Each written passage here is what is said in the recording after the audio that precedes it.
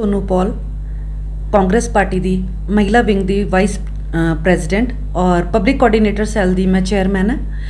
ਔਰ ਅੱਜਕੱਲ ਜਿਹੜਾ ਵੀ ਇਹ ਕਿਸਾਨਾਂ ਦੇ ਪ੍ਰਤੀ ਇੱਕ ਕਾਲਾ ਬਿੱਲ ਲਾਗੂ ਕੀਤਾ ਗਿਆ ਹੈ, ਇਹਦੇ ਪ੍ਰਤੀ ਮੈਨੂੰ ਬਹੁਤ ਜ਼ਿਆਦਾ ਰੋਸ ਹੈ, ਕਿਉਂਕਿ ਸਾਡਾ ਪੂਰਾ ਪੰਜਾਬ ਇਸ ਵੇਲੇ ਪੂਰਾ ਸੁਲਗ ਰਿਹਾ ਹੈ ਗੁੱਸੇ ਦੇ ਵਿੱਚ ਔਰ ਰੋਸ ਪ੍ਰਗਟ ਕਰ ਰਿਹਾ ਕਿ ਇਸ ਬਿੱਲ ਨੂੰ ਪਾਰਿਤ ਨਾ ਕੀਤਾ ਜਾਏ।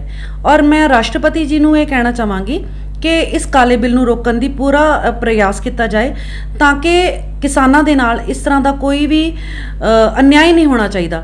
ਕਿਉਂਕਿ ਇਸ ਅਨਿਆਏ ਦੇ ਨਾਲ ਅਸੀਂ ਸਭ ਲੋਕ ਵੀ ਸਾਨੂੰ ਵੀ ਬਹੁਤ ਨੁਕਸਾਨ ਹੋਏਗਾ। ਸਾਡੀ ਘਰ ਦੀਆਂ ਲੇਡੀਜ਼ ਨੂੰ ਨੁਕਸਾਨ ਹੋਏਗਾ। ਸਾਡੀ ਪੂਰੀ ਕਾਂਗਰਸ ਪਾਰਟੀ ਤਿਆਰ ਹੈ ਮੋਦੀ ਨਾਲ ਪੂਰਾ ਹੱਲਾਸ਼ੇਰੀ ਨਾਲ ਉਹਨੂੰ ਰੋਕਣ ਲਈ।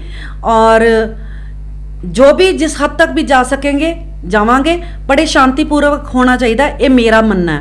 ਇਹ ਮੇਰਾ ਖੁਦ ਦਾ ਮੰਨਣਾ ਹੈ ਕਿ ਜੋ ਵੀ ਕੁਝ ਕਰੇ ਕਾਂਗਰਸ ਪਾਰਟੀ ਕਰਨ ਉਹਨਾਂ ਨੂੰ ਉਸ ਚੀਜ਼ ਨੂੰ ਸ਼ਾਂਤੀਪੂਰਵਕ ਕਰਨਾ ਚਾਹੀਦਾ ਤਾਂ ਕਿ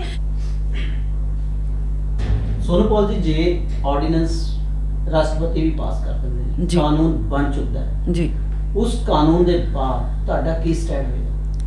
ਸਟੈਂਡ ਤਾਂ ਅਸੀਂ ਖੜੇ ਆ ਆਪਣੇ ਕਿਸਾਨ ਭਾਈਆਂ ਦੇ ਨਾਲ, ਜੋ ਕੁਝ ਵੀ ਅਸੀਂ ਕਰ ਸਕਦੇ ਹਾਂ, ਕਰਾਂਗੇ। ਬਟ ਇਹ ਹੋਣਾ ਨਹੀਂ ਚਾਹੀਦਾ।